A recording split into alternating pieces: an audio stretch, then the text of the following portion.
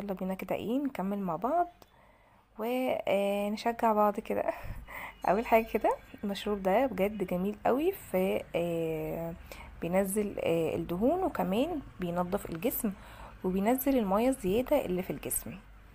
آه، نجيب كده آه، يعني آه، خيار. بس أهم حاجة نغسل الخيار بخل نغسله كويس جدا عشان المية ما تتلوثش.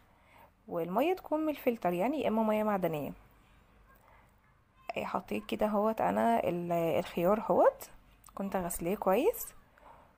وينفع كمان نحط مع الخيار ليمون. دي كده أنا بعملها من بالليل وعبيتها في التلاجة. وأول ما اصحى كده هاخد لي إيه قبل الفطار خالص هاخد لي كده كوبايتين آه، مية منها. وافضل بقى طول اليوم آه، عاوز كده آخد مية فياخد منها. بس أهم حاجة إن إحنا نبيتها كده إيه في التلاجة من بالليل. الليمون بقى كده ممكن أحط لها ليمون الصبح. آه، بيتحط آه، خيار ونعناع. أنا عندي نعناع ناشف ممكن أحط برضو منه آه، الصبح كده. فبيتحط نعناع اللي هو الأخضر والخيار وكمان آه، ليمونة كده آه، متقطعة طرنشات.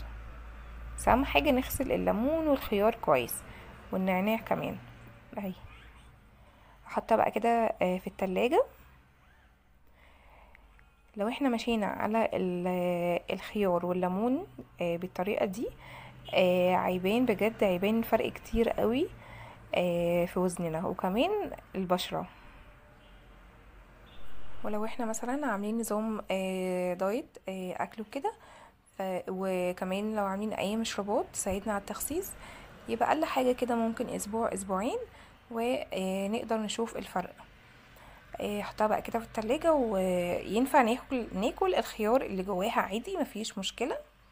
آه، استمروا عليها بجد وكمان ال- الشاي الأخضر والجنزبيل والقرفة. التلاتة دول مع بعض وعليهم برضو آه، ليمون.